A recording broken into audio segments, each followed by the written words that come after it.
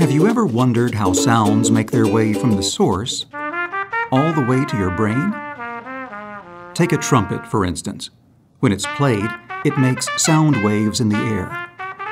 The outer ear catches the waves, which then travel through a narrow passageway called the ear canal.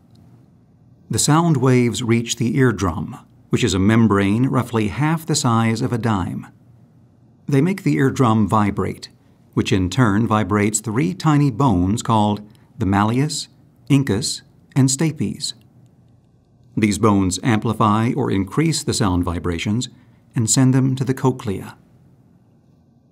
The cochlea is shaped like a snail and is the size of a garden pea. It is filled with fluid, and the sound vibrations make this fluid ripple, which creates waves. Hair-like structures called stereocilia sit on top of hair cells and are grouped together as hair cell bundles inside the cochlea. The hair cells inside the cochlea ride these waves, and the hair bundles are moved. The hair bundle on top of the hair cell turns these movements into electrical signals.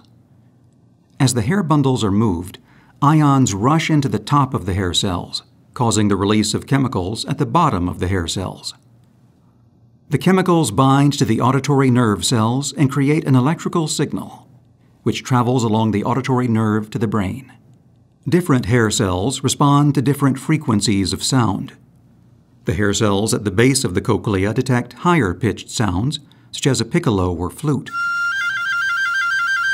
The hair cells toward the top of the spiral detect progressively lower pitched sounds, such as a trumpet or trombone. At the very top or apex of the spiral, the hair cells detect the lowest pitched sounds, such as a tuba. The auditory nerve carries the electrical signal to the brain, which interprets the messages as sounds that we recognize and understand.